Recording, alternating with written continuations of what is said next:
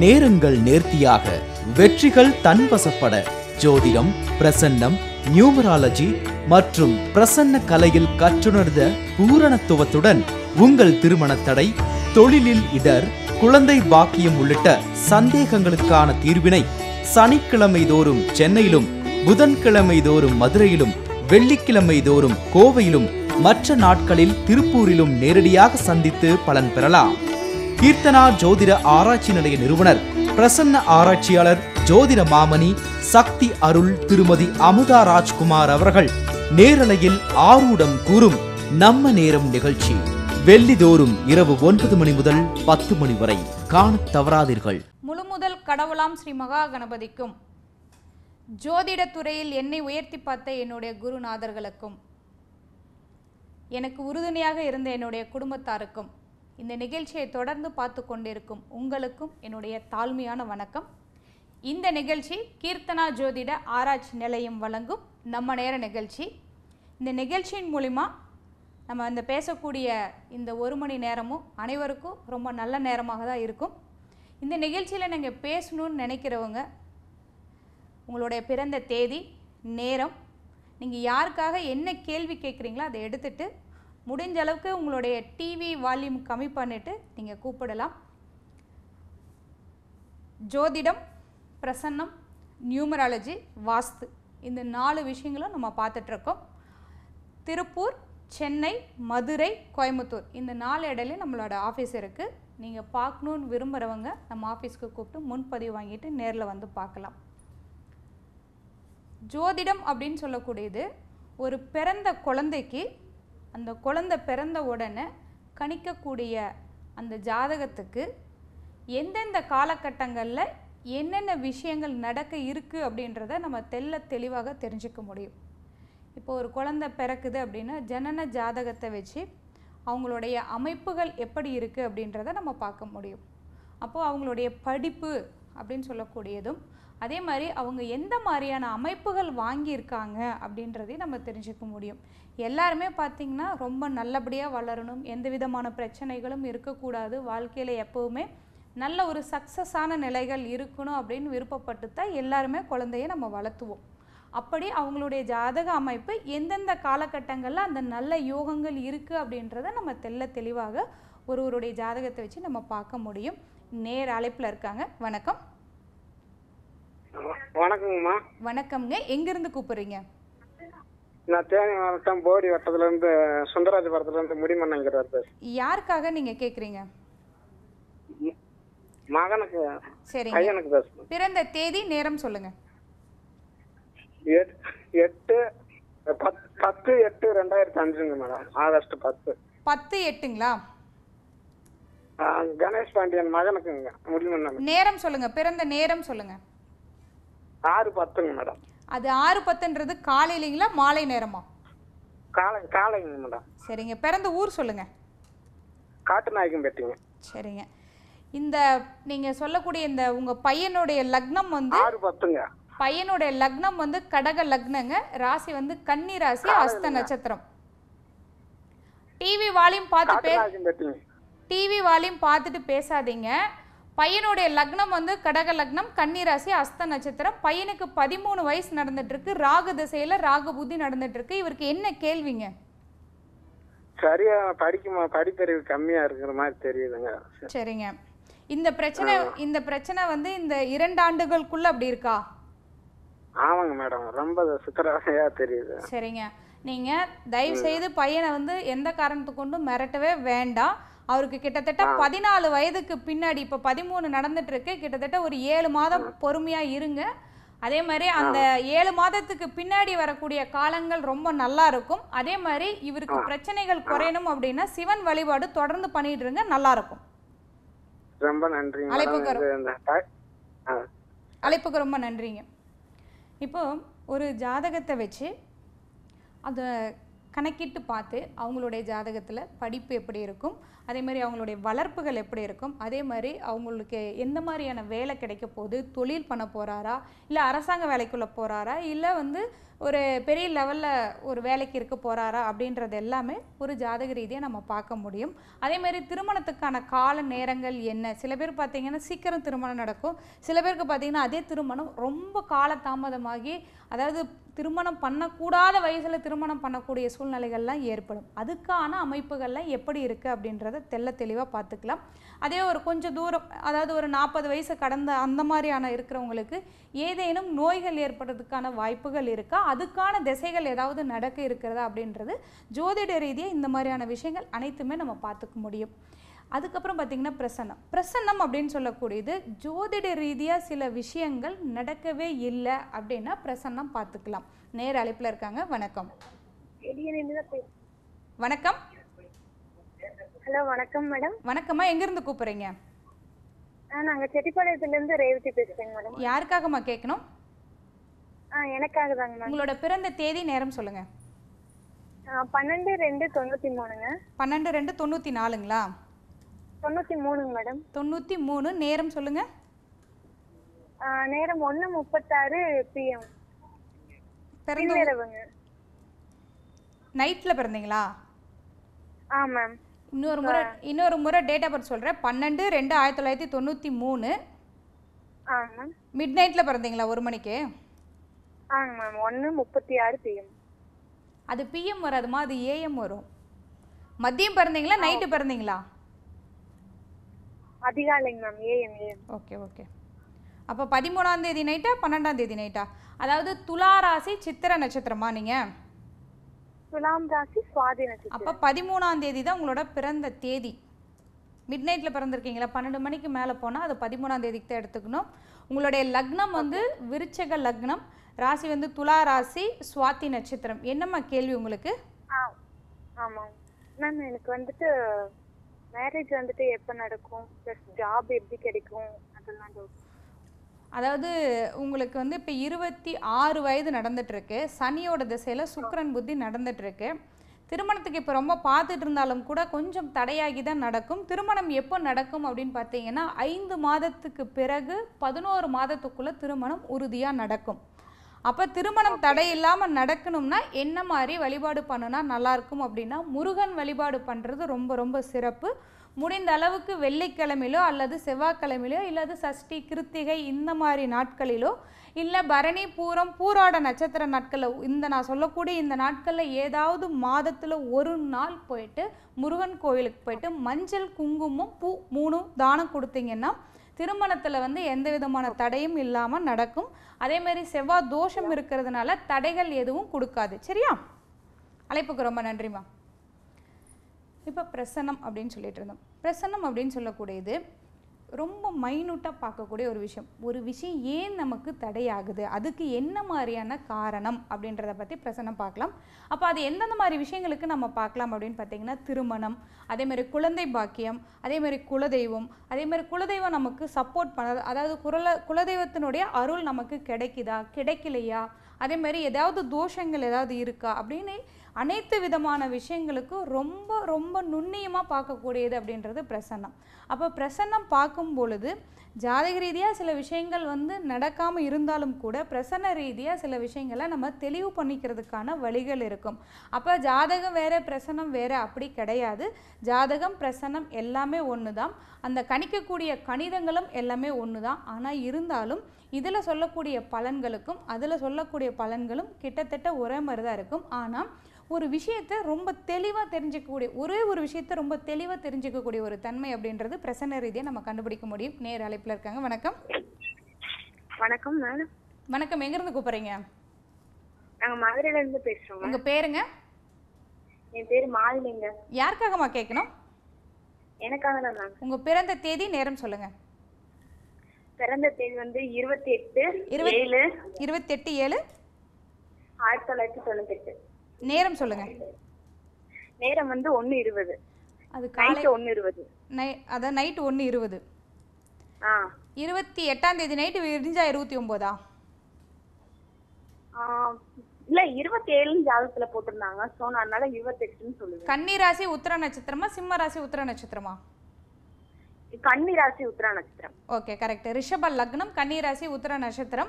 இருபது வயசுக்கு உங்களுக்கு நடந்துட்டு இருக்குமா செவ்வாயோட திசையில சுக்கிரன் புத்தி நடந்துட்டு இருக்கு என்னம்மா உங்களுக்கு கேள்வி? இல்லங்க படிப்பு ஜாப் பத்தி கேட்கணுங்க. படிப்பு என்ன படிச்சிட்டு இருக்கீங்க நான் பிகாம் படிச்சிட்டு இருக்கேன் சரி. மேற்கொண்டு மறுபடியும் படிக்கலாம். இல்லங்க நான் சார்ட்டர்ட் அக்கௌண்ட் பண்ணிட்டு இருக்கேன் ஆனா பட் அதனால நான் தோல்வி தான் சந்திச்சுக்கிட்டே இருக்கேன். அதாவது நட- நடப்பு வயசு இருபது தான் நடந்துட்டு இருக்கு சரிங்களா? நம்ம எடுத்த உடனே ஜெயிக்க முடியாது. அதே மாதிரி உங்களுக்கு இந்த துறையில் உங்களுக்கு நல்லா இருக்குமா? நான் போனால் என்னால் சக்ஸஸ் பண்ண முடியுமா? அப்படின்னு பார்த்தீங்கன்னா கண்டிப்பாக சக்ஸஸ் பண்ண முடியும். அது இருபத்தி ரெண்டாவது வயதில் தான் நடக்கும். சரிங்களா? அதனால் ஃபீல் பண்ணவே வேண்டாம். மேற்கொண்டு படிக்கிறதுக்கு வாய்ப்புகள் இருக்குது படிக்கலாம். அதே மாதிரி விடாமுயற்சியாக நீங்கள் ஒரு விஷயத்த பண்ணிகிட்டே வந்தீங்கன்னா உங்களுக்கு சக்ஸஸாக இருக்கும். ஆனால் பொதுவாக நீங்கள் என்ன பண்ணுவீங்கன்னா ஒரு விஷயத்த நடக்கிறதுக்கு முன்னாடி முடிவு பண்ணி ரொம்ப சென்சிட்டிவாக யோசிக்கக்கூடிய ஒரு தன்மை இருக்குது நடக் நடக்கலைன்னா ரொம்ப நாள் டைம் எடுத்து தான் போவீங்க. ஒரு வாரமாவது ரொம்ப அப்செட் ஆயிடுவீங்க இல்லையா? ஆமாங்க. அப்படி இருக்காதீங்க. அப்படி இருந்ததுன்னா வந்து ஒவ்வொரு விஷயங்களும் உங்களுக்கு இந்த மாதிரியான பிரச்சனைகள் கொடுக்கும். ஏன்னா ஜாதக ரீதியாக யார் உங்களுக்குன்னு இல்லை. யாருக்கெல்லாம் புதன் ராகு அதே மாதிரி புதன் கேது இருக்கோ இவங்க எல்லாருமே ரொம்ப சென்சிட்டிவாக தான் இருப்பாங்க. தோல்விகளை அவ்வளோ சீக்கிரம் ஏற்றுக்க மாட்டாங்க. அதே மாதிரி அந்த டைம் எடுக்கும். ஒரு விஷயத்துலேருந்து மீண்டு வர்றதுக்கு கொஞ்சம் காலதாமதம் ஆகும். அதனால் அப்படிலாம் இல்லாமல் ஓரளவுக்கு இதை மாற்றி கொண்டு போனீங்கன்னா மறுபடியும் உங்களோட எதிர்காலத்தில் அந்த மாதிரி எந்த ஒரு பிரச்சனைகளும் வராமல் பார்த்துக்கலாம் சரியா? அழைப்புக்கு ரொம்ப கொஞ்சம் அதே மாதிரி நீங்கள் வழிபாடு பண்ணணும்னு விரும்புனீங்கன்னா ஆஞ்சநேயர் வழிபாடு பண்ணுனீங்கன்னா இந்த மாதிரியான பிரச்சனைகள் கண்டிப்பாக இருக்காது. அதே மாதிரி உங்களுக்கு இந்த நீங்கள் சொன்ன இந்த ஃபீல்டுக்குள்ளே பெருசாக வரணும்னா கண்டிப்பாக ஆஞ்சநேயர் வழிபாடு பண்ணுங்கள் நம்ம முன்ன சொல்லிட்டு இருந்த மாதிரி பிரசன்ன ரீதியாக பார்க்க முடியாத ஒரு விஷயம் கண்டிப்பாக இல்லை. அதே மாதிரி காணாமல் போனவங்க காணாமல் போன பொருள் குலதெய்வம் இந்த மாதிரி அனைத்து விஷயங்களும் பிரசன்ன ரீதியாக நம்ம பார்த்துக்க முடியும். அடுத்து பார்த்திங்கன்னா நியூமராலஜி. எப்போவுமே வந்து நம்ம பெயர் வைக்கும் பொழுது அந்த வைக்கக்கூடிய பெயர் அவங்களுக்கு எப்போவுமே ரொம்ப நல்லா இருக்கணும். ஜாதக ரீதியாக எப்போவுமே பார்த்தீங்கன்னா நல்ல நேரமே இருக்கும் அப்படின்னு சொல்ல முடியாது. அவங்களுக்கு கஷ்டமாதிபதி திசைகள் கூட வரலாம். ஆனால் வைக்கக்கூடிய பேர் வந்து அவங்களுடைய ராசிக்கும் அவங்களுடைய நட்சத்திரத்துக்கும் அவங்க ஜாதகத்தில் எந்த எண்கள் வந்து அதாவது எந்த கிரகம் ரொம்ப நல்லா இருக்கோ அந்த கிரகத்துக்கான பெயர் வைக்கும் பொழுது அந்த எண்ணுக்கு பேர் வைக்கும் பொழுது அவங்களுக்கு எப்போவுமே பெரிய பிரச்சனைகள் இருக்காது. அதேமாதிரி வீடு எப்போதுமே வாஸ்து ரீதியாக வீடு கட்டும் பொழுது அந்த நாம மட்டும் இருக்க போகிறது கிடையாது. நமக்கு அடுத்து வரக்கூடிய அந்த சந்ததியினரும் அதில் நல்லா இருக்கணும் அப்படின்னா வாஸ்து பார்த்து வீடு கட்டுங்க. அதே மாதிரி நாங்கள் கட்டிட்டோம். என்ன பண்ணுறது வாஸ்து சரியில்லை அப்படின்னா முடிஞ்ச அளவுக்கு அதை சரி பண்ணி வாழ்கிறதுக்கு பாருங்கள் எனக்கு தெரிஞ்ச வரலுமே பார்த்திங்கன்னா ஜாதக ரீதியாக நல்லா இருந்தவங்களும் கூட வாஸ்து ரீதியாக சரியில்லாமல் போய் பெரிய லெவல்ல இருந்து சறுக்குனவங்க நிறைய பேர் இருக்காங்க. அதனால வீடு பொதுவாக அதே மாதிரி நீங்கள் தொழில் செய்யக்கூடிய இடங்கள் பொதுவாக நீட்டாகவும் இருக்கணும் வாஸ்து ரீதியாகவும் இருக்கணும். அதே மாதிரி வாஸ்து அப்படின்ற பேரில் ரொம்பலாம் பார்க்கக்கூடாது ஓரளவுக்கு நார்மலாக நம்ம பார்க்கக்கூடிய வாஸ்து பார்க்கறது ரொம்ப நல்லது. நேர் அழைப்பில் இருக்காங்க. வணக்கம். ஹலோ. வணக்கம். வணக்கங்க. வணக்கம் பையனுக்கு வேண்டி கேட்குறேன் சரிம்மா சரிங்க. யாருக்கு எந்த ஊர்லேருந்து கூப்பிட்றீங்க? எர்ணாகுளம். எர்ணாகுளத்துலேருந்து கூப்பிட்றீங்களா? ஆமா கிரீஷ்னு பேரு. இருபத்தஞ்சு ரெண்டு ஆயிரத்தி தொள்ளாயிரத்தி எண்பத்தி நாலு. இருபத்தி அஞ்சு ரெண்டு எண்பத்தி நாலுங்களா? ஆமா எண்பத்தி நாலு. நேரம் சொல்லுங்க. காலையில நாலு முப்பது ஏஎம். பிறந்த ஊர் சொல்லுங்கம்மா பிறந்த ஊர் கொழிஞ்சாம்பாறு சரிங்க. பாலக்காடு. இவருடைய லக்னம் வந்து மகர லக்னம். இவருடைய ராசி வந்து விருச்சக ராசி கேட்ட நட்சத்திரம். சரிங்களா? இப்போ இவருக்கு வந்து முப்பத்தி ஐந்து வயது நடந்துட்டு இருக்கு சூரியனோட திசையில சனி புத்தி நடந்துட்டு இருக்குமா இவருக்கு திருமணம் என்ன நடக்கலையா? திருமணம் நடக்கல. அது மாதிரி வேலையும் நல்ல பிசினஸ் தான் பண்றான். அது சரியாகாம இருக்கு. சரிங்க. முதல்ல வந்து திருமணத்துக்கு பார்ப்போம் பொதுவாகவே ஆண்களுக்கு ஜாதக ரீதியாக வந்து அவங்களுடைய ஏழாம் இடம் சரியில்லைன்னா திருமணம் தள்ளி போகும். அதே மாதிரி இவருக்குமே பார்த்தீங்கன்னா ஏழாம் அதிபதி நீசமாகி ஏழ்றையினுடைய தாக்கம் இருக்கும் பொழுது திருமணத்துக்கு நீங்கள் பார்க்கவே முடியாத சூழ்நிலையோ அல்லது திருமணத்துக்கு நீங்கள் பார்த்தாலும் அஹ், கிட்ட வர மாதிரி இருந்து தள்ளி போகக்கூடிய நிலைகள் எல்லாமே கடந்த இரண்டாண்டு காலம் நடந்துட்டு இருக்குமா? எப்படி இருக்கீங்க? இப்ப நாங்க கல்யாணத்துக்கு போனோம் அங்க சிக்கல் சிங்கார வேலை எல்லாம் போய் கும்பிட்டு வந்தோம். அப்போ எல்லாமே நடக்கும் சொல்கிறாங்க ஆ. பார்க்கலாம். சரி. இப்போ நானும் நடக்கும் அப்படின்னு தான் சொல்கிறேம்மா இந்த வருடம் ஃபுல்லாக திருமணத்துக்கான வாய்ப்புகள் ரொம்ப நல்லா இருக்கு. சரிங்களா? முயற்சி ஆமாம் இந்த வருடம் திருமணத்துக்கான வாய்ப்புகள் ரொம்ப நல்லா இருக்கு. அதனால நீங்கள் பார்க்கலாம். அதே மாதிரி அவரை வந்து விநாயகர் வழிபாடு பண்ணிட்டே வர சொல்லுங்க. உங்க ஜாதக ரீதியாக இருக்கக்கூடிய தாக்கங்கள் கொஞ்சம் குறையும். சரியா? அழைப்புக்கு ரொம்ப என்ன வழிபாடுங்க? என்ன வழிபாடு? விநாய விநாயகருக்கு வழிபாடு பண்ணுங்க. ஓகே ஓகே ஓகேங்க. சரிங்களா? அந்த வழிபாடு எப்படி பண்ணணும்? அந்த வழிபாடு எப்படி பண்ணணும் அப்படின்னா விநாயகர் கோயில் பக்கத்தில் இருந்ததுன்னா நீங்கள் ஒரு கோயில் போயிட்டு கோயில் ஒரு முறை சுற்றிட்டு அவர் கையால் அகல் தீபம் மூணு தீபம் ஏற்றி வழிபாடு பண்ண சொல்லுங்க. சரிங்களா? ஓகேம்மா மாலைப்புக்கு ரொம்ப நன்றிம்மா. இப்போ ஜோதிடம் பார்க்க வேண்டிய அவசியம் என்ன? நிறைய பேர்த்துக்கு அந்த ஒரு டவுட் இருக்கும். இப்போ ஜோதிடம் பார்த்தா மட்டும்தான் எல்லா விஷயம் நடக்குமா? அப்படின்ற ஒரு கேள்வி எல்லாருக்குமே இருக்கும். இப்போது நிறைய பேர் பார்த்திங்கன்னா ஜோதிடத்தை ரொம்ப நம்புகிறவங்க இருப்பாங்க. சில பேர் வந்து ஜோதிடத்தை பார்த்துட்டு ஒரு சில வேலைகள் செய்வாங்க. சில பேர் பார்த்திங்கன்னா ஜோதிடத்தை நம்பவே மாட்டாங்க. ஆனால் இந்த மூணு பேர்த்துக்குமே இந்த மூணு விதமான நிலையில் இருக்கிறவங்களுக்குமே அன்றாட வாழ்க்கை முறைகள் போயிட்டே தான் இருக்கும். அதில் எந்த மாற்றமும் இல்லை. ஆனால் ஜோதிடத்தை சார்ந்து செய்யக்கூடியவங்களுக்கும் அதே மாதிரி இந்த ஜோதிடத்தை நம்பாத இருக்கிறவங்களுக்கும் உள்ள வேறுபாடுகள் எப்படி இருக்கும் அப்படின்னா இது வந்து ஜோதிடத்தை பொறுத்தவரையிலும் உங்களுக்கு நல்ல நேரம் இல்லை கெடுதலான நேரம் அப்படின்னு சொல்லக்கூடிய விஷயங்கள் உங்களுக்கு ஜோதிட ரீதியாக என் மாதிரி இருக்கக்கூடிய ஜோதிடர்கள் கண்டிப்பாக உங்களுக்கு சொல்லுவாங்க. நேர் அழைப்பில் இருக்காங்க. வணக்கம். ஆ ஹலோ. வணக்கம். எங்கேருந்து கூப்பிட்றீங்க? ஆ நான் கேரளால இருந்து பேசுறேன் மேடம். உங்கள் பேருங்க? என்னோட தம்பி கேட்கணும் அவரோட நவீன்குமார். ஓகே பிறந்த தேதி நேரம் சொல்லுங்கள் ஆ, பிறந்த தேதி வந்து இருபத்தி ஆறு எட்டு தொண்ணூத்தெட்டு. இருபத்தி ஆறு எட்டு தொண்ணூற்றி எட்டு ம் ஆமாம் நேரம் சொல்லுங்கள் நேரம் வந்து பன்னெண்டு முப்பத்தேழு. அது மதியங்களா நைட்டுங்களா? இது நைட்டுங்க. பன்னெண்டு முப்பத்தி ஏழுங்களா ம் ஆமாங்க சரிங்க. இவருடைய ராசி வந்து கன்னி ராசி உத்தர கன்னி ராசி அஸ்த நட்சத்திரம்.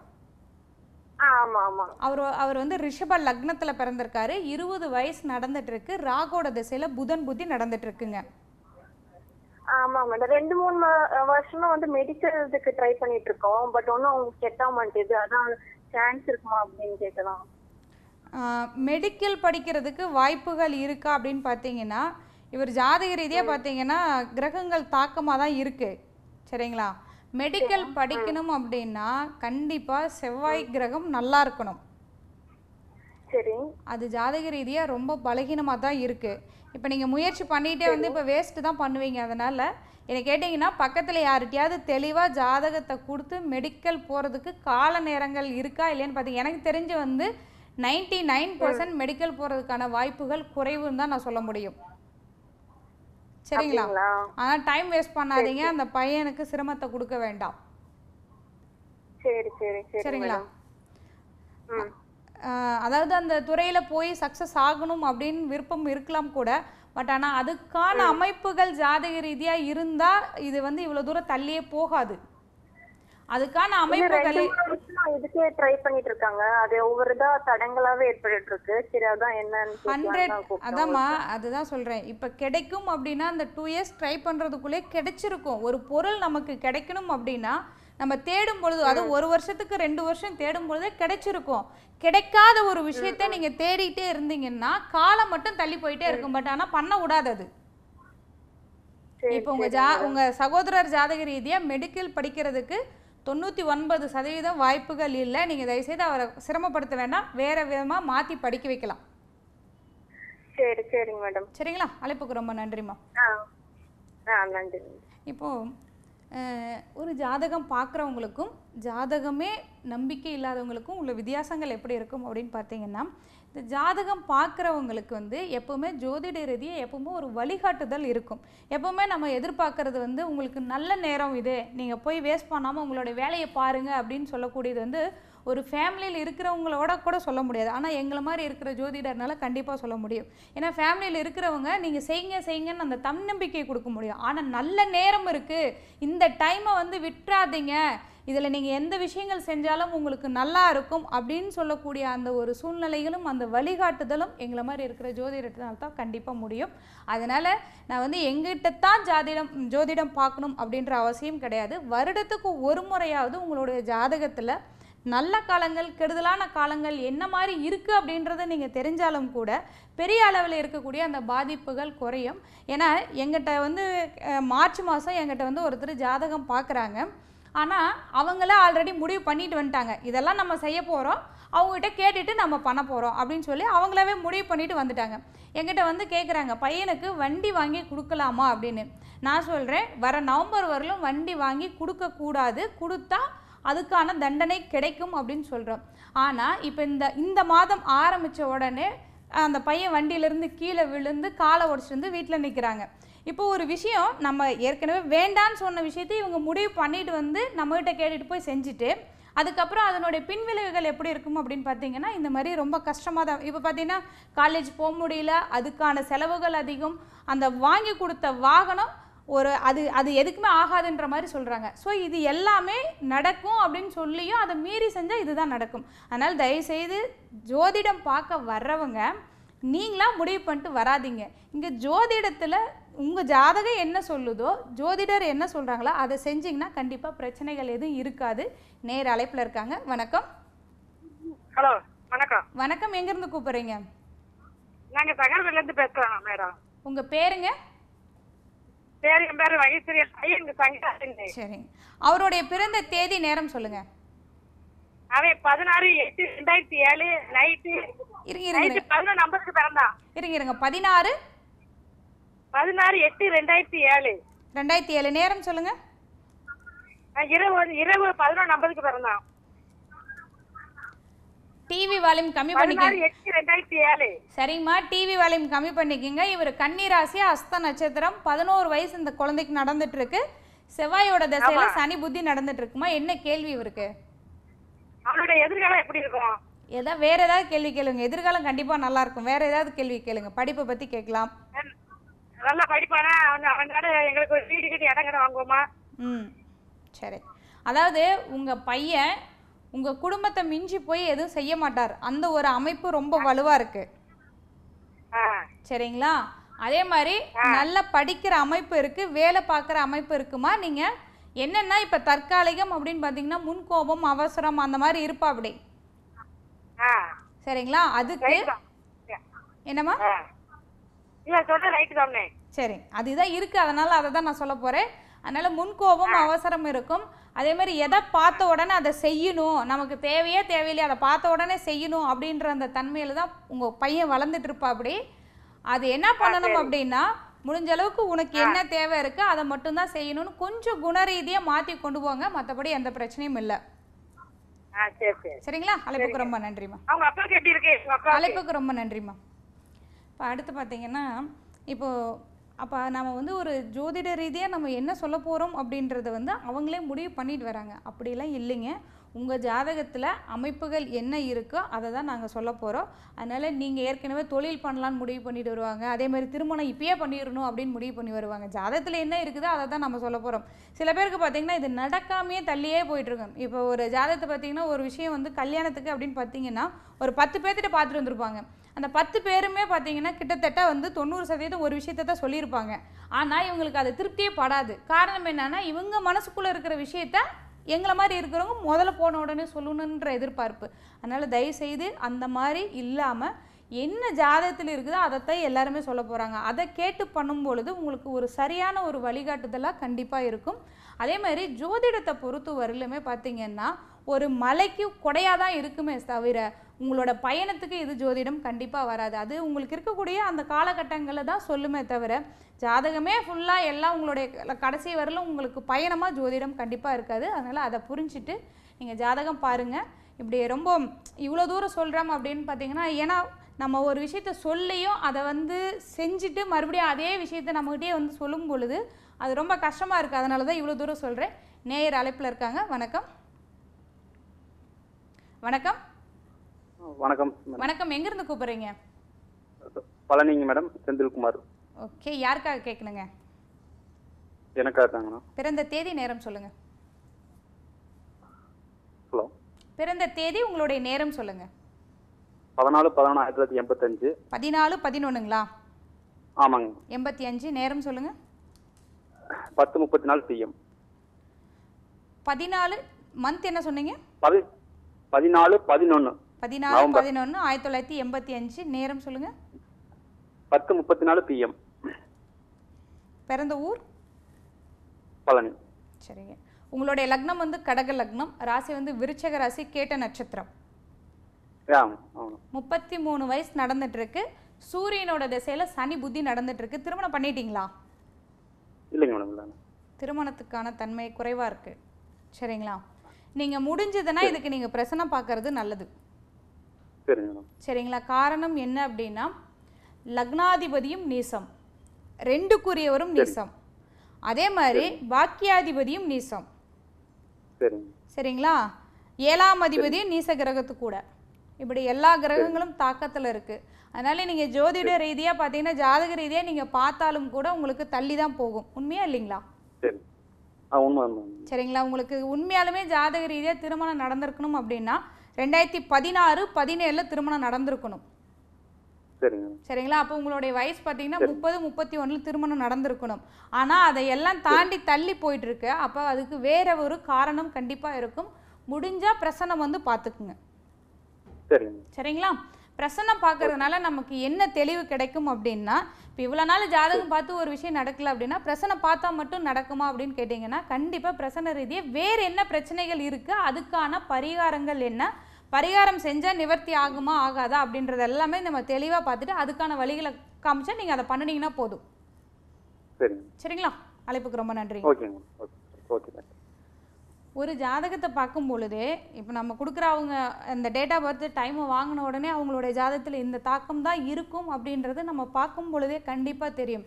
இது இப் இது கொடுக்குற அந்த ஒரு பத்து செகண்ட்லேயே நமக்கு தெரியும் பொழுது ஒரு ஜாதகத்தை முழுமையாக பார்க்கும் பொழுது அவங்களுக்கு என்ன மாதிரியான விஷயங்கள் இருக்குது அப்படின்றத தெல்ல தெளிவாக தெரிஞ்சுட்டு அதுக்கு ஒரு வழிகாட்டுதலாக கண்டிப்பாக நம்மளுடைய ஜோதிட நிலையும் இருக்கும். அதே மாதிரி நான் முன்னே சொல்லிட்டு இருந்த மாதிரி இப்போ ஒரு பிரசன்ன ரீதியாக எல்லா விஷயத்தையும் கண்டிப்பாக பார்க்க முடியும். இந்த குலதெய்வம் சாபம் இருக்கா? இல்லை நிவர்த்தி பண்ணுறதுக்கு வழிகள் இருக்கா? அப்படின்றது எல்லாத்தையுமே நம்ம பார்க்க முடியும். அதேமாரி போன வாரம் அப்படின்னு பார்த்தீங்கன்னா ஒரு கோவில் பற்றி சொல்லிட்டு இருந்தேன். அந்த கோவில் வந்து முழுமையாக சொல்ல முடியாமல் போச்சு. அது அதனோட இதை இன்றைக்கி சொல்லலாம். அதே மாதிரி போன வாரத்தில் வந்து ஒரு தி- திருமணம் தடை ஆகணும் அப்படின்னா ராகு எது சொல்லுவோம். அதே மாதிரி செவ்வாய் தோஷம் சொல்லுவோம். ஆனால் இந்த ரெண்டு கிரகம் இந்த ரெண்டு தோஷங்களும் இல்லைனாலும் கூட ரெண்டில் சனி எந்த லக்னமாக இருந்தாலும் சரி அந்த ரெண்டில் சனி அஞ்சில் சனி ஏழில் சனி பதினொன்றில் சனி. இந்த மாதிரி சனி ஆதிக்கம் இந்த பாவங்கள் இருந்தாலும் திருமணம் தடையாகும் அப்படின்றத போன வாரம் சொல்லியிருந்தோம் இதை பார்த்துட்டு ஒரு நேயர் என்கிட்ட வந்து ஜாதகம் பார்த்துட்டு என்ன சொன்னார் அப்படின்னா எப்போவுமே நீங்கள் பெண்களுடைய ஜாதகத்தை வச்சே நீங்கள் அதிகமாக சொல்கிறீங்க ஒரு ஜாதகத்தில் ஆண்களுக்கு என்ன மாதிரியான பிரச்சனைகள் இருந்தால் திருமணம் தடையாகும் அப்படின்றத நீங்கள் கண்டிப்பாக சொல்லணும். ரெண்டு கேள்வி அவர் எனக்கு இன்னைக்கு சொல்லி நீங்கள் தொலைக்காட்சியின் மூலிமா சொல்லணும். ஏன்னா எனக்கு இருக்கிற இந்த விஷயம் நாங்கள் எல்லாரும் நம்ம தெரிஞ்சுக்கணும் அப்படின்னு சொல்லி சொன்னார். அதை பற்றி கண்டிப்பாக சொல்கிறேன் நேர் அழைப்பில் இருக்காங்க. வணக்கம். வணக்கம். ஹலோ. வணக்கம். ஹலோ. வண- வணக்கங்க. எங்கேருந்து கூப்பிட்றீங்க? நாங்கள் சிவகாசியிலேருந்து கூப்பிடுறோம். விருதுநகர் மாவட்டம் சிவகாசியிலேருந்து. சரிங்க. உங்கள் பேருங்க? ஏ கா காளிச்சேரி சரிங்க. அவங்களுடைய பிறந்த தேதி நேரம் சொல்லுங்கள் பதினொன்று பன்னெண்டு ஆயிரத்தி தொள்ளாயிரத்தி தொண்ணூற்றி ஏழுங்க. பதினொன்று பன்னெண்டு ஆயிரத்தி தொள்ளாயிரத்தி தொண்ணூற்றி ஏழு. நேரம் சொல்லுங்கள் ஆம். பதினொன்று ம். பன்னெண்டு ஆயிரத்தி தொள்ளாயிரத்தி தொண்ணூற்றி ஏழு. சரிங்க. நேரம் சொல்லுங்கள் நேரம் ஆறு இருபத்தி ஆறு அது காலையிலங்களா நைட்டுங்களா? இல்லை காலையில் காலையில். சரிங்க. இவங்களுக்கு என்ன கேள்விங்க?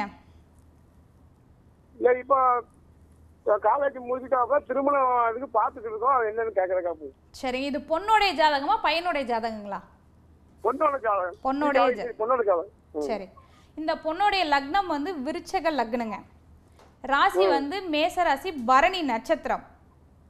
ஆமாம் இருபத்தி ஒரு வயது நடந்துட்டு இருக்கு. சூரியனோட திசையில சனி புத்தி நடந்துட்டு இருக்கு திருமணத்துக்கு அப்படின்னு சொல்லும் பொழுது ரெண்டாயிரத்தி பத்தொன்பதுல திருமணம் பண்ணலாம். சரிங்களா? அப்ப இந்த வருடம் இல்ல அடுத்த வருடம் திருமணம் பண்ணலாம். அதே மாதிரி இந்த பொண்ணு மேற்கொண்டு படிக்க வைக்கிறதுக்கு ஐடியா இருந்தா படிக்க வைக்கலாம். சரிங்க. சரிங்களா? இல்ல படிக்க வைக்கல அப்படின்னு நீங்க விரும்புனீங்கன்னா அடுத்த வருடம் திருமணம் பண்ணலாம். ஒன்றும் பிரச்சனை இல்லை. சரிங்களா?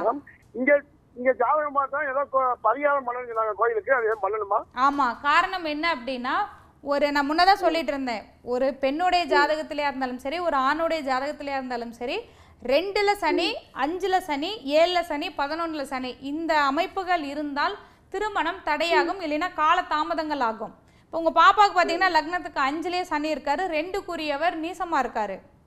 சரிங்களா?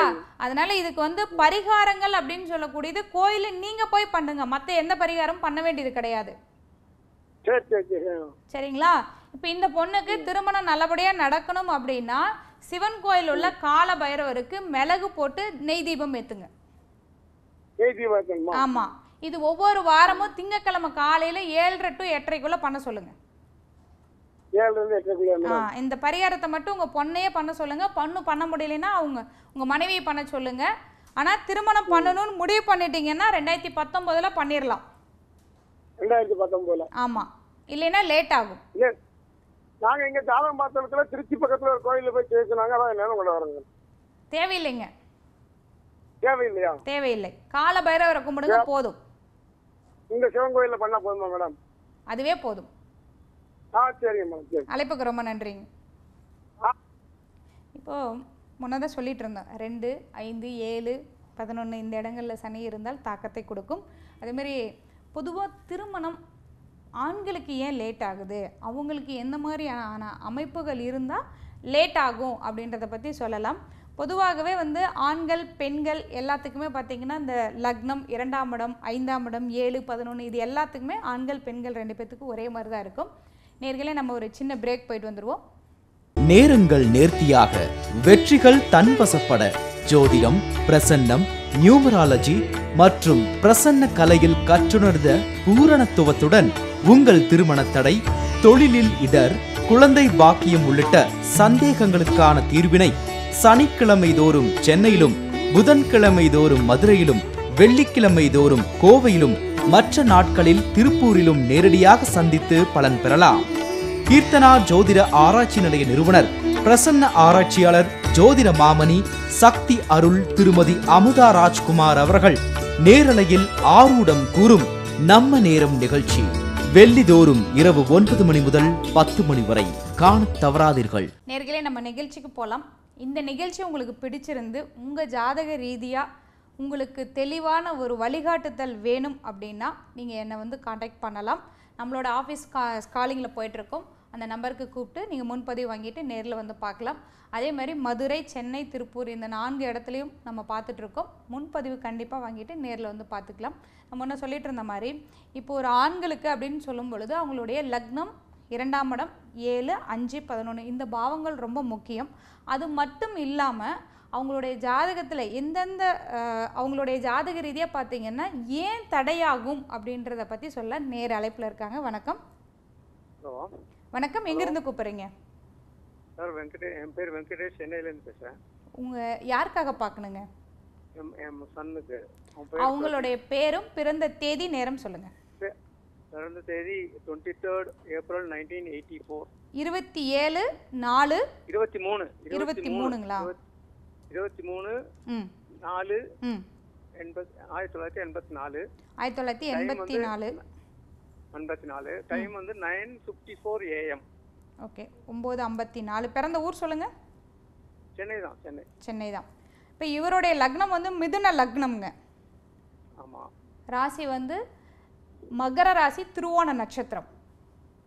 ஆ திருவோணம் மகர ராசி. ஆமாம் மிதுன லக்னம் மகர ராசி திருவோண நட்சத்திரம். இவருக்கு இப்போ முப்பத்தி ஐந்து வயது நடந்துட்டு இருக்கு குருவோட திசையில் குரு புத்தி நடந்துட்டு இருக்குங்க திருமணம் பண்ணிருக்க முடியாது. முன்னதாக சொல்லிட்டு இருந்தேன் ஐந்தில் சனி இருந்தால் திருமணம். இப்போ நீங்கள் பார்த்தீங்கன்னா இவர் ஒரு நல்ல படிப்பு நல்ல ஒரு வேலை எல்லாமே பரவாயில்லன்ற அளவுக்கு தான் இருக்கும். எப்படி இருக்காரு? சரிங்களா? இந்த ஒரு விஷயம் மட்டும் நீங்கள் அவருக்கு பண்ணி கொடுக்கணும்னு நினச்சா தள்ளிட்டே தான் போயிட்டு இருக்கும் இல்லையா ஆமாம் சரிங்களா? எப்போ ஆகும். உறுதியாக நீங்கள் இதுக்கு பிரசன்னம் பார்த்துக்குங்க அஞ்சில் சனி இருந்தாலே கண்டிப்பாக தோஷம் இருக்குது அப்படின்னு அர்த்தம். சரிங்களா? இதுக்கு இப்போ நீங்கள் இப்போ நீங்கள் கேட்குற இந்த நீங்கள் கேட்குற இந்த முப்பது செகண்டில் சொல்லக்கூடிய பரிகாரத்தினால இது விலகாது. நீங்கள் இப்படியே வந்து நீங்கள் பார்க்காம தள்ளிட்டே போயிட்டே இருந்துச்சுன்னா ஒரு குறிப்பிட்ட லெவலுக்கு மேலே கல்யாணம் பண்ண முடியாத ஒரு நிலை ஏற்படும். சரிங்களா? நீங்கள் சுத்த ஜாதகமாக இருந்தால் இந்நேரம் திருமணம் எல்லாம் பண்ணியிருக்கணும். ஏன் திருமணம் பண்ணல? ஜாதக ரீதியாக பார்த்தீங்கன்னா ராகியது தோஷம் கிடையாது செவ்வாய் தோஷம் கிடையாது. ஜாதகம் சுத்த ஜாதகம் தான். ஆனால் பார்க்கும்போது சுத்த ஜாதகமாக தான் இருக்கும். ஆனால் தோஷங்கள் எல்லாமே உள்பட இருக்கும். அதை நீங்கள் பார்க்க உங்களுக்கு தெரியாது பார்த்தா. சரிங்களா? உங்கள் பையனுக்கு நீங்கள் திருமணம் பண்ணி வைக்கணும்னு ரொம்ப விரைவாக பார்த்துட்டு இருந்தாலும் கூட ஜாதக ரீதியாக நடக்கும் சொல்லிட்டே இருந்தாலும் கூட இவருக்கு தோஷங்கள் இருக்கிறதுனால காலதாமதம் ஆகும். கிட்டத்தட்ட மூணு நாலு வருடமாகவே இந்த சூழ்நிலைகள் தான் நீங்கள் அனுபவிச்சுட்டு இருப்பீங்க அதனால் இது மாறணும் அப்படின்னா பிரசன்னம் பாருங்கள் இது தெளிவாக நீங்கள் தெரிஞ்சுக்க முடியும். எப்போ நடக்கும் அப்படின்றத. சரி. சரிங்களா? அழைப்புக்கு ரொம்ப நன்றி. இப்போ ஒரு ஆண்களுக்கு அப்படின்னு பார்த்தீங்கன்னா ஜாதக ரீதியாக சுக்கிரன் ராகு சுக்கிரன் கேது செவ்வாய் சனி சேர்க்கை. இந்த மூணு அமைப்புகளும் லக்னத்துக்கு ரெண்டுலேயோ ஐந்துலேயோ ஏழுலேயோ பதினொன்றுலேயோ இருந்தால் நிறைய பேருக்கு திருமணம் ஆகாமல் கிட்டத்தட்ட பார்த்தீங்கன்னா ஆயிரத்தி தொள்ளாயிரத்தி எழுவதில் பிறந்தவங்களுக்கு கூட இந்த அமைப்பில் இருக்கிறவங்களுக்கு திருமணம் ஆகாமல் இருக்கிறது இப்போது நம்ம பார்க்க முடியும். ரெண்டாவது பார்த்தீங்கன்னா ஆயிரத்தி தொள்ளாயிரத்தி தொண்ணூத் ஆயிரத்தி தொள்ளாயிரத்தி எழுவத்தி ஒன்பதுலேருந்து எண்பத்தி நாலு வரலும் பிறந்தவங்களுக்கு இந்த அமைப்பு இருக்கிறவங்களுக்கு ஒரு திருமணம் ம மறு திருமணம் திருமணமே ஆகாத நிலைகள் அப்படியே திருமணம் ஆகியிருந்தாலும் கூட இவங்களுக்கு இந்த குழந்தை பாக்கியத்தில் பிரச்சனைகள் இல்லை பிரிவினைகள் இந்த மாதிரி ஏதாவது ஒரு குறைபாடுகளை கொடுக்கக்கூடிய ஒரு தன்மைகளை இந்த ஆயிரத்தி தொள்ளாயிரத்தி எழுவத்தி ஒன்பதுலேருந்து எண்பத்தி நாலு எண்பத்தி அஞ்சு வரலும் இருக்குது ஸோ இந்த மாதிரி அமைப்பில் இருக்கிறவங்க சரியான வழிகாட்டுதல் இருந்தால் தான் திருமண வாழ்க்கையிலும் சரி மற்ற விஷயங்களும் சரி அவங்க கண்டிப்பாக நல்லா வாழ முடியும். நேர் அழைப்பில் இருக்காங்க. வணக்கம். வணக்கம் மேடம். வணக்கம். எங்கேருந்து கூப்பிட்றீங்க? மேடம் நான் பல்லடத்துல இருந்து கூப்பிடுறேங்க. உங்கள் பேருங்க? பேர் ராதிகா. யாருக்காகம்மா கேட்கணும்? எனக்கு தாங்க மேடம். பிறந்த தேதி நேரம் சொல்லுங்கள் ஆறு ஒன்பது ஆயிரத்தி தொள்ளாயிரத்தி எண்பத்தி ஒன்பது. எண்பத்தி ஒன்பதுங்களா? ஆமாங்க மேடம். நேரம் சொல்லுங்கள் அஞ்சு முப்பது பிஎம் அஞ்சு முப்பது பிஎம்ங்களா ஆமாங்க மேடம். பிறந்த ஊருங்க? பல்லடங்க மேடம். சரிங்களா? அப்போ உங்களுடைய லக்னம் வந்து கும்ப லக்னம். ராசி வந்து தனுசு சாரி கும்ப லக்னம் ராசி வந்து துலா ராசி விசாக நட்சத்திரம். இருபத்தி ஒன்பது வயது நடந்துட்டு இருக்குமா புதன் திசையில் சுக்கிரன் புத்தி நடந்துட்டு இருக்கு அஷ்டமாதிபதி திசை நடக்குது. உங்களுக்கும் திருமணம் தான் கேள்வியா இருக்கும் என்ன கேள்வி? மேடம் இப்போ நான் வேலைக்காக ட்ரை பண்ணிட்டு இருக்கேங்க மேடம். அது நான் நல்ல இடத்துல வேலை கிடைக்குமா? அரசு வேலை கிடைக்குமா? வாய்ப்பு இருக்கா? அப்படின்னு சொல்லி கேட்கணுங்க மேடம். சரி. அதுதான் உங்களோட கேள்வி. ஆமாங்க மேடம். சரி. இப்போ வேலை கிடைக்குமா அப்படின்னு பார்த்தீங்கன்னா ஜாதக ரீதியாக அரசாங்க வேலை கிடைக்குமான்னு கேட்குறீங்களா ரெண்டுமே தாங்க மேம் இப்போ வந்து இப்போ நான் ஒரு ட்ரைனிங் முடிச்சிட்டேன்னா ஜாப் கவர்மெண்ட் ஜாப் கிடைக்க சான்ஸ் இருக்குன்னு சொல்றாங்க மேடம் அதனால தான் இப்போ நான் இன்டர்வியூ அட்டன் பண்ணியிருக்கேங்க வேலை இப்போ எப்போ கொடுப்பாங்கன்னு தெரியலைங்க மேடம் அதை கேட்டுட்டு அப்படியே கவர்மெண்ட் ஜாப் கிடைக்குமான்னு கேட்குறேங்க மேடம் சரி ஓகே உங்களோட மன வாழ்க்கை எப்படி இருக்கு? கல்யாணம் ஆயிடுச்சா? மேடம் திருமணம் ஆயிடுச்சுங்களா? இல்லைங்க மேடம் இன்னும் ஆகலைங்க. எனக்கு திருமணம் ஆகாது. ஏன்னா ஜாதக ரீதியாக அப்படி தான் இருக்குது ஏன் அந்த கேள்வி நீங்கள் கேட்கல அது தெரியலைங்க மேடம். எனக்கு வந்து ஒரு நல்ல ஜாப் கிடைக்கணும். அதுக்காக தாங்க மேடம். என்ன வயசாயிட்டு இருக்கு அதை யோசிக்க மாட்டீங்களா?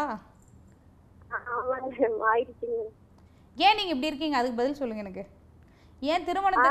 திருமணத்தை பற்றி கேட்காம நீங்கள் மறுபடியும் உங்களோட வேலை அரசாங்க வேலை இதெல்லாம் கேட்குறீங்க ஏன்னு சொல்லுங்கள் மேம் அது வீட்ல கொஞ்சம் வந்து கஷ்டமா இருக்குங்க மேடம் நான் ஜாப் நல்ல ஜாப் கிடைச்சிருச்சுன்னா அப்புறமா நான் திருமணம்லாம் அப்புறம் பாத்துக்கலாம்னு சொல்லியிருக்கேங்க மேடம் கண்ணே ஒரு பொண்ணுக்கு வயசே வந்து திருமணம்னா இருபத்தஞ்சுக்குள்ளே பண்ணிடணும் அதுதான் வந்து ஒரு சரியான பிடிப்பில் வாழ முடியும்.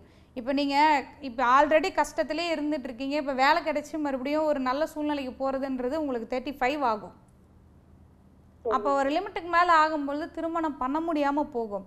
உங்கள் ஜாதக ரீதியாக முதல்ல பார்த்தோன்னா அதுதான் கேள்வியாக இருக்கும்னு நினச்சேன். பரவாயில்ல வேலைக்காக கேட்டிருக்கீங்க அதை சொல்கிறேன் ஆனால் எனக்கு தெரிஞ்சு வந்து வேலையும் திருமணத்தையும் ஒன்றா பார்க்கக்கூடாது சரிங்களா? இது ஒரு பக்கம் இருந்தாலும் இது ஒரு பக்கம் பார்த்துட்டே இருக்கணும். ஏன்னா எல்லாம் கலந்து தான் நம்ம வாழ்ந்துட்டு இருக்கிறோம். ஒரு விஷயத்தை நோக்கியே நம்ம யாரும் ஓடுறது கிடையாது. சரியா? யோசிங்க. ஏன்னா திருமணத்துக்கான டைம் அப்படின்றது நெக்ஸ்ட் இயர் நல்லா இருக்கு.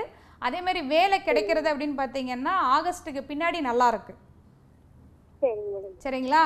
வேலை கிடைக்குமா அப்படின்னு பார்த்தீங்கன்னா தோஷம் இருக்குது தள்ளி போகிறதுக்கும் வாய்ப்புகள் இருக்குது ஆனால் ஹண்ட்ரட் பர்சன்ட் நீங்கள் முயற்சி பண்ணி பண்ணும் பொழுது வேலை வந்து ஆகஸ்ட்டுக்கு பின்னாடி கிடைக்கும். சரிங்களா? இப்போ நீங்கள் ஏதாவது இன்டர்வியூ அட்டன் பண்ணி வந்தும் கூட அதில் ஏதாவது மாறினா கூட வருத்தப்பட வேண்டாம். ஆகஸ்ட்லேருந்து அந்தாண்ட ஒன் இயர் வந்து நல்லா இருக்கு. அதே சேம் டைம் திருமணத்துக்கு நல்லா இருக்கு. ரெண்டையுமே பாருங்க. சரிங்களா? அழைப்புக்கு ரொம்ப நன்றிம்மா. இப்போ அடுத்து பார்த்தீங்கன்னா நம்ம ஆஃபீஸில் கிட்டத்தட்ட பார்த்தீங்கன்னா ரெண்டாயிரத்தி பதினாறில் ஒரு பிரசனம் பார்க்குறோம். அந்த பிரசனம் பார்த்தீங்கன்னா குழந்தை பிரசனம். கிட்டத்தட்ட எட்டு ஒன்பது வருடமாக திருமணம் திருமணம் ஆகி ஒரு மூணு நாலு முறை வந்து மருத்துவ ரீதியாக நம்ம அவங்க முயற்சி பண்ணியும் அவங்களுக்கு குழந்தை கிடைக்கல.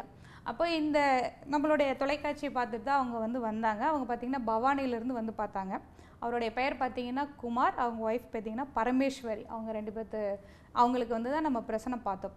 அந்த பிரசனத்தில் அப்படின்னு பார்த்தீங்கன்னா ரெண்டாயிரத்தி பதினேழில் உங்களுக்கு குழந்தை பாக்கியம் கிடைக்கும் அப்படின்னு சொல்லி சொல்லியிருந்தேன். ரெண்டாயிரத்தி பதினேழுக்கு பின்னாடி குழந்தை பாக்கியம் கிடைக்கும் அப்படின்னு சொல்லியிருந்தேன். ஆனால் அப்போவே வந்து எழுதி கொடுத்துருக்கேன் ரெண்டாயிரத்தி பதினெட்டில் குழந்தை இருக்கும் அப்படின்னு சொல்லி. அதேமாதிரி பார்த்திங்கன்னா மார்ச்சில் குழந்தை பிறந்திருக்கு. அதேமாதிரி ஒரு எட்டு வருடம் ஒன்பது வருடம் திருமணமாகி அவங்களுக்கு குழந்தை இல்லைன்னு இருந்தும் கூட பலமுறை மருத்துவம் பார்த்து அது சரியாக இல்லாமல் என் நம்மக்கிட்ட வந்ததுக்கப்புறம் பார்த்தீங்கன்னா இது நார்மலாகவே குழந்தை உருவானது. சில பேருக்கு வந்து மருத்துவம் போக சொல்லுவோம். இந்த பிரசனம் வந்து ஒரு சிலருக்கு வந்து இல்லை மருத்துவம் போகாமலே குழந்தை கிடைக்கும் அப்படின்னு சில பேருக்கு இருக்கும். சில பேருக்கு பார்த்தீங்கன்னா மருத்துவம் போங்க அப்படின்னு சொல்லி சொல்லுவோம்.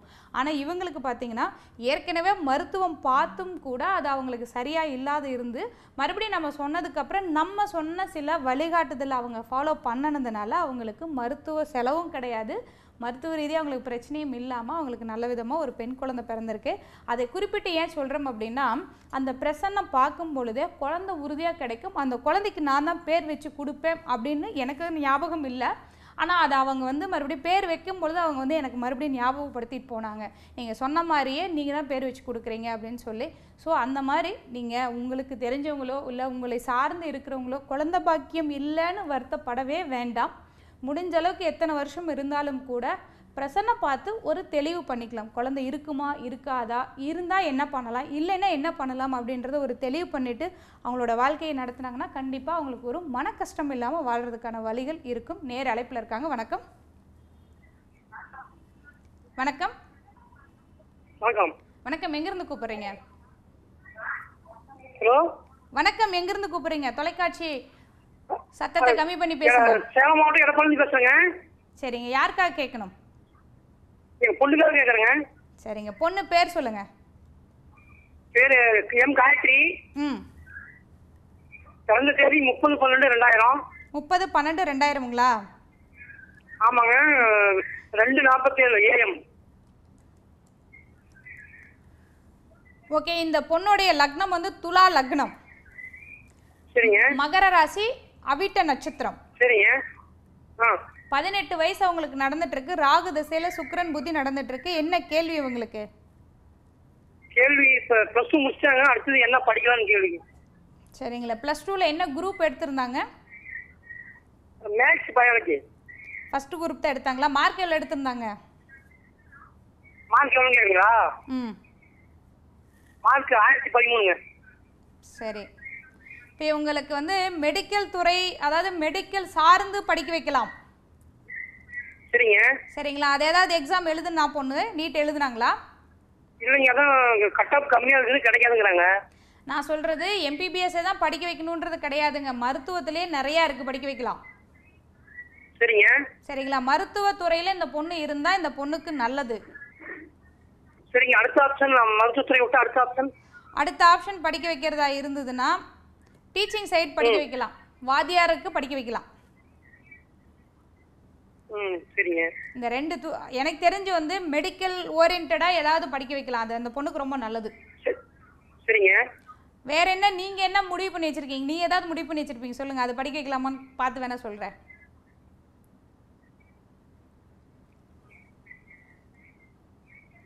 நீங்கள் என்ன முடிவு பண்ணி வச்சுருக்கீங்க? என்ன சேர்த்தலான்னு? அதாங்க ரெண்டு மெடிக்கல் தான் ட்ரை பண்ணிட்டு இருக்கிறோம் என்ன கேட்டிங்கன்னா ஒன்றும் யோசிக்கவே வேண்டாமுங்க. மெடிக்கல் சார்ந்தே நீங்கள் பாருங்கள் ஏன்னா அதுதான் அமைப்பாக இருக்குது சரிங்க மேடம் சரிங்களா? ஒன்றும் வேற எதுவும் யோசிக்க வேண்டாம். எம்பிபிஎஸ் தான் படிக்க வைக்கணுன்றது கிடையாதுங்க. இவங்க மெடி அதாவது மருத்துவத்துறையில் ஏதாவது ஒரு அங்கத்தில் இருந்தாங்கன்னா இவங்களுக்கு நல்லது. இவங்க ஜாதக ரீதியாக வேணாங்க. என்னதுங்க? டிகிரி டிகிரி பிஎஸ்சி எம்எஸ்சி அதாவது இதுக்கு வேண்டாம் அப்படின்னு முடிவு பண்ணீங்கன்னா மருத்துவத்துறை வேண்டாம் அப்படின்னா ஆசிரியர் துறைக்கு படிக்க வைக்கலாம். சரிங்களா? அதுக்கு அமைப்பு இருக்கு. ரெண்டுல எதையாவது ஒன்று இவங்களை கரெக்டாக சேர்த்து விடலாம் நல்லா இருக்கு. சரிங்களா? அழைப்புக்கு ரொம்ப நன்றிங்க. சரிங்க. இப்போ போன வாரம் வந்து சொல்லியிருந்தோம் ஒரு கோவிலை பற்றி அந்த கோவில் வந்து ஆகாயத்தில் ஒரு கோவில் அப்படின்னு சொல்லி. நிறைய பேர் கேட்டாங்க முழுசாக சொல்லியிருக்கலாம் நீங்கள் சொல்லாமல் வந்துட்டீங்க அப்படின்னு சொல்லி நோட் பண்ணி வச்சுக்கோங்க இந்த கோவில். ஏன்னா நம்ம அப்படி ஒரு கோவில் பார்க்கறது ரொம்ப ரொம்ப கஷ்டம். அந்த மாதிரியான ஒரு கோவில். கிட்டத்தட்ட பார்த்தீங்கன்னா ஒரு ரெண்டாயிரம் வருஷத்துக்கு ஒரு பழமையான ஒரு கோவில். அது ஒரு ஆறுநூறு வருடம் பராமரிப்பு இல்லாமல் இருந்த ஒரு கோவில். அதுக்கப்புறம் பார்த்திங்கன்னா ஒரு பத்து வருஷத்துக்குள்ளே ஒரு ஏழு வருடம் இந்த கீழேருந்து மேலே மலைக்கு போகிறவங்ககிட்ட கல் ஜல்லி மண் இந்த மாதிரி கொடுத்து சேர்த்தி வச்சு மூணு வருஷம் அந்த கோயிலை கட்டியிருக்காங்க. அதுக்கப்புறம் கும்பாபிஷேகம் பண்ணி இப்போ அதை வந்து ரொம்ப சிறப்பாக கொண்டுட்டு வந்திருக்காங்க. இது எங்கே இருக்குது அப்படின்னு பார்த்தீங்கன்னா திருவண்ணாமலை மாவட்டம் செங்கம்லேருந்து போலூர் போகிற வழியில் தென் மகாதேவ மங்களபுரம் அப்படின்ற இடத்துல இருக்கக்கூடிய பருவதமலை. இந்த கோயிலினுடைய பெயர் என்ன அப்படின்னு பார்த்தீங்கன்னா பருவதமலை. இங்கே தெய்வம் அப்படின்னு பார்த்தீங்கன்னா மல்லிகா அர்ஜுனர் தாய் வந்து பிரம்பராம்பிகை. நேர் அழைப்பில் இருக்காங்க. வணக்கம். வணக்கம். ஹலோ வணக்கம் மேடம். எங்கிருந்து கூப்பிட்றீங்க? ஹலோ வணக்கம் மேடம். வணக்கம் வணக்கம். எங்கிருந்து கூப்பிட்றீங்க? வணக்கம் மேடம். நான் திருச்சியிலேருந்து பேசுகிறேன் மேடம். சரிங்க. என்னுடைய பேர் ஆபின்சன். சரிங்க. இருபத்தி ஒன்று பதினொன்று ம். இருபத்தி இருபத்தொன்று பதினொன்று பத்தொம்பது எண்பத்தி ஒம்பது மேடம். ஆயிரத்தி தொள்ளாயிரத்தி எண்பத்தி ஒன்பதுங்களா? ஆமாம் மேடம் இருபத்தி ஒன்று பதினொன்று ஆயிரத்தி தொள்ளாயிரத்தி எண்பத்தி ஒன்பது. நேரம் சொல்லுங்கள் அஹ், நேரம் வந்து கா காலையில் பத்தரைக்கு பிறந்தது மேடம் செவ்வாய்க்கிழமை. சரிங்க. உங்களுடைய லக்னம் வந்து மகர லக்னம். மகர லக்கணம் சிம்ம ராசி பூர நட்சத்திரம். சரிங்க மேடம் இருபத்தி ஒன்பது வயசு நடந்துட்டு இருக்கு. சந்திரனோட திசையில கேது புத்தி நடந்துட்டு இருக்கு. என்ன உங்களோட கேள்வி? இல்லை மேடம் கல்யாணம் எப்போ நடக்குன்றது தான் மேடம் சரிங்களா கல்யாணத்துக்கான டைம் நடந்துகிட்டே இருக்கு. ரொம்ப மும்மரமாக பார்க்கலாம். அறுபது நாளுக்கு பின்னாடி திருமணம் உறுதியாக நடக்கும். சரிங்களா? பார்த்துட்டு இருந்தாங்கன்னா கொஞ்சம் வேகப்படுத்தி பார்க்க சொல்லுங்க. அறுபது நாளுக்கு பின்னாடி அந்தாண்ட உறுதியாக திருமணம் நடக்கிற அமைப்பு இருக்கு. இந்த வருடத்திலே திருமணத்தை முடிச்சிடலாம். சரிங்களா? அழைப்புக்கு ரொம்ப நன்றி. இதுக்கான பரிகாரம் என்ன அப்படின்னா நீங்கள் போய் பண்ணுங்க. பேரண்ட்ஸ் யாரும் பண்ண வேண்டாம். உங்கள் வீட்டுக்கு பக்கத்தில் இருக்கிற அம்மன் கோயிலுக்கு நீங்கள் போய் உங்கள் கையால் அஞ்சு நெய் தீபம் ஏற்றி வழிபாடு பண்ணிட்டு வாங்க கண்டிப்பாக சீக்கிரம் கல்யாணம் நடக்கும். சரிங்களா?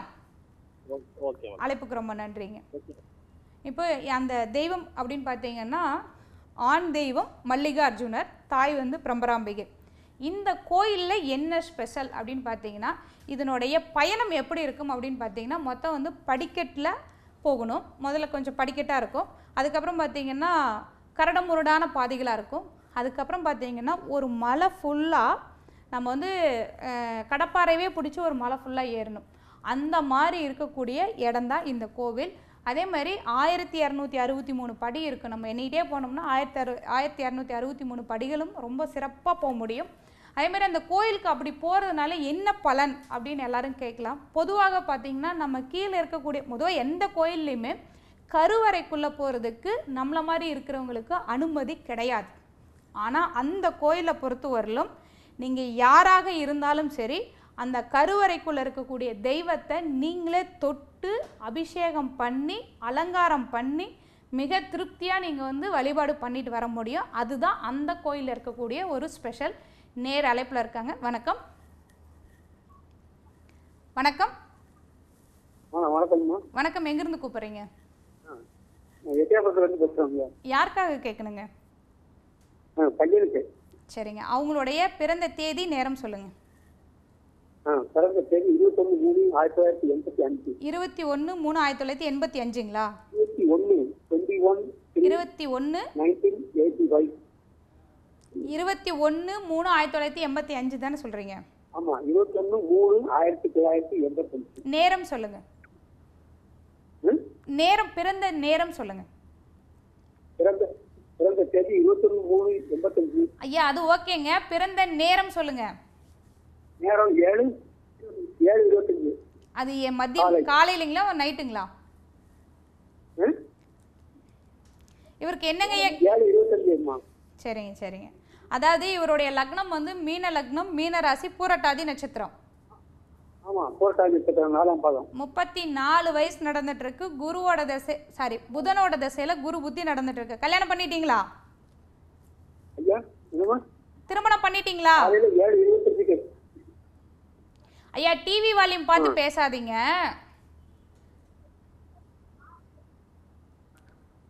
ஓகே அழைப்புக்கு ரொம்ப நன்றி. ஏன்னா டிவி வால்யூம் பா டிவி பார்த்தே பேசுனீங்கன்னா எனக்கு கேட்காது. ஸோ இவருக்கு இவருடைய ஜாதகம் வந்து திருமணத்துக்கு தான் கேட்டிருப்பாங்க கண்டிப்பாக ஏன்னா அதுதான் பிரச்சனையாக தெரியுது. ஐயா நீங்களும் வந்து பிரசன்னம் பார்த்துக்குங்க. தடைகள் கண்டிப்பாக இருக்குது அதுக்கான நிவர்த்தி என்னன்றதை நம்ம தெரிஞ்சுக்கலாம்.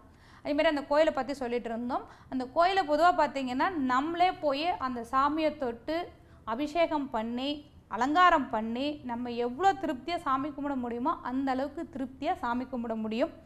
எனக்கு ஒரு பாக்கியம் கிடைச்சிது அந்த கோயில் போகிறதுக்கான வாய்ப்பு கிடைச்சிது. நான் கிட்டத்தட்ட பார்த்திங்கன்னா அந்த கோவில் போனது வந்து ரொம்ப பிராப்தமாக நினைக்கிறேன். காரணம் என்னென்னா போக போகிறதுக்கு முன்னாடி இருந்த சூழ்நிலைகளும் போயிட்டு வந்ததுக்கப்புறம் இருக்கக்கூடிய சூழ்நிலைகளும் ரொம்ப ஒரு மாற்றமாக தான் இருந்தது. அதனால் என்னை சார்ந்து இருக்கிறவங்களும் கூட அந்த கோயிலுக்கு பலமுறை கூட்டிகிட்டு போயிட்டு வந்தது உண்டு. அதனால் இப்போவும் கூட பார்த்தீங்கன்னா ஒரு இப்போ ஒரு குறிப்பிட்ட காலத்தில் பார்த்தீங்கன்னா பதினெட்டு சித்தர்கள் வச்சு உள்ள ஒரு சிவன் வச்சு பிரதிஷ்டை பண்ணினது எல்லாமே இப்போ பண்ணியிருக்காங்க. ரொம்ப சிறப்பான ஒரு கோவில். யாருக்கெல்லாம் போகிறதுக்கு ஒரு வாய்ப்புகள் கிடைக்குதோ கண்டிப்பாக போயிட்டு வாங்க. மனிதனாக பிறந்தால் ஒரு முறையாவது அந்த கோவில் போகணும் அப்படின்றது ஒரு ஐதீகம். அதனால் யாருக்கெல்லாம் வாய்ப்பு கிடைக்குதோ அவங்க எல்லாம் போயிடுவாங்க. அது போகிறதுக்கு முன்னாடி நீங்கள் வந்து ரொம்ப தெளிவாக நான் பாதை சொல்கிறேன் ஏன்னா ரொம்ப கடினமாக இருக்குது அப்படின்னு பயப்பட்டு திரும்பி வந்துடாதீங்க முதல்ல கொஞ்சம் படிக்கட்டு ஏறணும். அதுக்கப்புறம் கொஞ்சம் கரடு முரடாக தான் இருக்கும். அதுக்கப்புறம் ஒரு மலை ஃபுல்லாகவே வந்து நம்ம கொஞ்சம் கஷ்டப்பட்டு மேலே ஏறுற மாதிரி இருக்கும். நீங்கள் சிவனை நினச்சிட்டே நீங்கள் தாராளமாக மலை ஏறிட்டு நல்லபடியாக கீழே இறங்கி வரலாம். பயப்பட வேண்டியதே கிடையாது. நேர் அழைப்பில் இருக்காங்க. வணக்கம். வணக்கம். வணக்கம். எங்கேருந்து கூப்பிட்றீங்க? மேடம் ஈரோட்ல இருந்துங்க மேடம். சரிங்க. யாருக்கா கேட்கணுங்க எனக்கும் வாய்ப்புக்குங்க மேடம். உங்களோட பிறந்த தேதி நேரம் சொல்லுங்கள் பிறந்த தேதி இருபது ஏழு ஆயிரத்தி தொள்ளாயிரத்தி எண்பத்தி இருபது ஏழு? ஆயிரத்தி தொள்ளாயிரத்தி எண்பத்தி ஒன்று. நேரம் சொல்லுங்கள் நேரம் தெரியலைங்க மேடம். நேரம் தெரிஞ்சால் மட்டும்தான் தெரிஞ்சால் மட்டும்தான் சொல்ல முடியுங்க. சரிங்களா? அழைப்புக்கு ரொம்ப நன்றிங்க. பிறந்த தேதி நேரம் இருந்தால் தான் சொல்ல முடியும். நீங்கள் கொடுக்குற அந்த முப்பது செகண்ட் இருக்கக்கூடிய டைமில் உங்களுக்கான சூழ்நிலைகளை நாங்கள் சொல்கிறோம் அப்படின்னா நீங்கள் கொடுக்கக்கூடிய அந்த நேரம் பிறந்த தேதி மட்டும்தான். ஸோ நம்ம முன்ன சொல்லிட்டு இருந்த மாதிரி ஒரு கோவில் போகணும் அப்படின்னா கூட அந்த இடத்துக்கு நம்ம போகணுன்னா கூட பிராப்தம் இருந்தால் தான் போக முடியும். அதே மாதிரி நம்ம நிறைய பேர் நினைப்போம் இவங்கள வந்து முன்னாடியே சந்திச்சிருந்திருந்தா ஆயிருக்கக்கூடாதா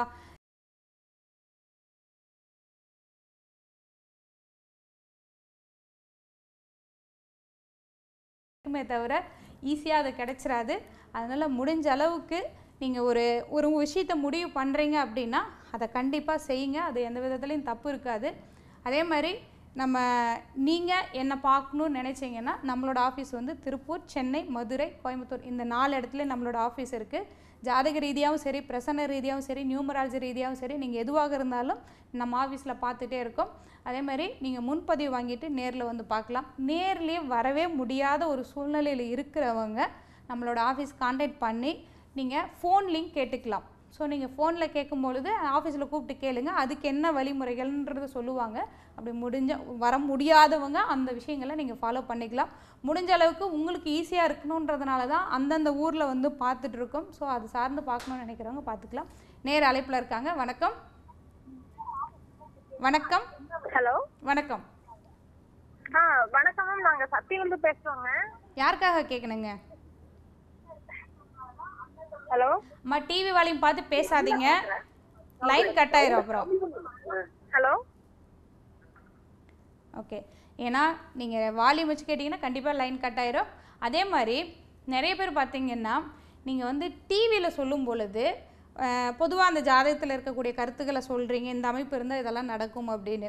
ஆனால் நம்ம வந்து ஒவ்வொரு ராசிக்கும் இப்போ ஒவ்வொருத்தருக்குமே வந்து ஒரு யோகம் இருக்கும். அந்த ராசி ரீதியாக அந்த நட்சத்திரத்துக்குன்னு ஒரு யோகம் இருக்கும். அப்படி ஏதாவது இருக்கும் பொழுது ஒவ்வொரு வாரம் ஒவ்வொரு விஷயத்த சொல்லுங்கன்னு சொல்லி கேட்டதுனால நான் சொல்கிறேன் இதில் வந்து முதல் ராசி அப்படின்னு சொல்லக்கூடியது மேச ராசி தான் அதில் முதல் நட்சத்திரம்னு சொல்லக்கூடியது அஸ்வினி நட்சத்திரம் தான் இப்போ மேச ராசியில் அஸ்வினி நட்சத்திரத்தில் பிறந்தவங்களுக்கு ஒரு யோகம் வேணும். அது வந்து நீங்கள் பொருளாதாரமாக எடுத்துக்கலாம். அதே மாதிரி தடையாக இருக்கக்கூடிய எந்த ஒரு விஷயமாக கூட இருந்தால் எடுத்துக்கலாம். இதுக்கு என்ன பண்ணுனா அவங்களுக்கு யோகம் கிடைக்கும் அதிர்ஷ்டம் கிடைக்கும் அப்படின்னு பார்க்கலாம். அதை நோட் பண்ணி வச்சுக்கோங்க. நான் சொல்லக்கூடியதை நோட் பண்ணி வச்சுக்குங்க. மேக்ஸிமம் நம்ம ஜாதகம் பார்ப்போம் கோயிலுக்கு போகிறோம் இதற்கு அப்பாற்பட்டு வேறு என்ன விஷயங்கள் பண்ணுனா நமக்கு அதுக்கு வந்து நல்லது பண்ணும் அப்படின்றத பார்த்தீங்கன்னா இப்போ இந்த அஸ்வினி நட்சத்திரத்துக்கு மரம் அப்படின்னு பார்த்தீங்கன்னா எட்டி மரம். பொதுவாகவே பார்த்திங்கன்னா எட்டி மரம் நம்ம கோயில்களில் இல்லை ரொம்ப இன்டீரியலான இடங்கள்ல தான் எட்டி மரம் வைப்பாங்க. அது வந்து பொதுவாக அந்த காய் சாப்பிட்டா பாதிப்பாயிரும் அப்படின்னால வைப்பாங்க. ஆனால் மேசராசி அஸ்வினி நட்சத்திரத்துக்கு அதுக்கான மரம் அப்படின்றது எட்டி மரம் தான் இந்த எட்டி மரத்தை நம்ம என்ன பண்ணுறது ஆனால் நம்ம வீட்டில் வைக்க முடியாது. ஆனால் அதுக்கு என்ன பண்ணலாம் அப்படின்னா உங்களுடைய இஷ்ட தெய்வம் அப்படின்னு சொல்லக்கூடிய கோவில் அது உங்கள் ஊருக்குள்ளேயே இருக்கிற ஏதாவது ஒரு கோவிலில் போய் நீங்கள் தாராளமாக வைக்கலாம். அப்படி இல்லைன்னா உங்களோட குலதெய்வம் எங்கே இருக்கோ அந்த இடத்துல வந்து எட்டி மரத்தை கொண்டு போய் நீங்கள் வைக்கலாம். வைக்கும் பொழுது என்ன பண்ணி வைக்கணும் அப்படின்னு பார்த்தீங்கன்னா நீங்கள் குழி பறிச்சுட்டு கொஞ்சமாக நவதானியத்தை போட்டு அந்த செடி வச்சுட்டு அதுக்கப்புறம் ஒரு ஒரு லிட்ரு தண்ணியில் முதல்ல ஒரு லிட்ரு தண்ணியில் கொஞ்சம் மஞ்சள் கலந்து அந்த செடி மேலே ஊற்றும் பொழுது உங்களுக்கு இருக்கக்கூடிய தோஷம் உங்கள் பரம்பரைக்கு இருக்கக்கூடிய தோஷங்கள் எதுவாக இருந்தாலும் அந்த இடத்தில் வச்சு நீங்கள் இதை பண்ணும் பொழுது வெகுவாக இதை குறையும். அதில் எந்த மாற்றமும் இருக்காது. ஸோ நம்ம செய்யக்கூடிய வேறு யாரும் பாவம் பண்ண நம்ம செய்யக்கூடிய சில விஷயங்கள் கூட சில பேருக்கு ஒரு தொந்தரவாக கூட இருந்தாலும் இந்த விஷயங்கள் நீங்கள் பண்ணும் பொழுது இது படிப்படியாக குறைஞ்சி உங்களுக்கு நல்லது ஏற்படும். அதனால் மேசராசி அஸ்வினி நட்சத்திரத்துக்கு எட்டி மரம் வெயிங்க நல்லாயிருக்கும் அதே மாதிரி இன்னும் யோகம் வேணும் அப்படின்னு பார்த்தீங்கன்னா ஆண் குதிரையினுடைய ஃபோட்டோ அது வந்து நீங்கள் வீட்டில் முன்னாடி வைக்கலாம். இல்லைன்னா பாக்கெட்லேயே கூட வச்சுக்கலாம். அந்த மாதிரி அடிக்கடி உங்களுடைய கண்ணில் படுற மாதிரி வைக்கும் பொழுது அது இன்னமும் உங்களுக்கு ஒரு யோகத்தை ஏற்படுத்தி கொடுக்கும். அதனால் நீங்கள் செஞ்சு பார்த்துட்டு நல்லா இருந்ததுன்னா உங்களுக்கு தெரிஞ்சவங்க இந்த நட்சத்திரத்தில் இருக்கிறவங்க பண்ணலாம். அதேமாதிரி இந்த நட்சத்திரத்தில் இருக்கிறவங்க மட்டும்தான் இதை பண்ணணும். மற்ற யாரும் பண்ணக்கூடாது. முடிஞ்ச அளவுக்கு ஒவ்வொரு வாரமும் ஒவ்வொருத்தருக்கும் சொல்கிறேன் அதை ஃபாலோ பண்ணிவிடுவாங்க கண்டிப்பாக நல்லாயிருக்கும் ஏன் அப்படின்னு பார்த்தீங்கன்னா இந்த நிகழ்ச்சியினுடைய முடிவுக்கு நம்ம வந்துட்டோம். இந்த நிகழ்ச்சியை பொறுத்தவரை இன்றைக்கி சொன்ன விஷயங்கள் அப்படின்னு பார்த்தீங்கன்னா பருவதமலை பற்றி சொன்னோம். அதே மாதிரி திருமணம் ராகுகேது செவ்வாய் இல்லாமல் சனி மட்டும் இருந்தாலே திருமணம் தடையாகுது அப்படின்றத பற்றி சொன்னோம்.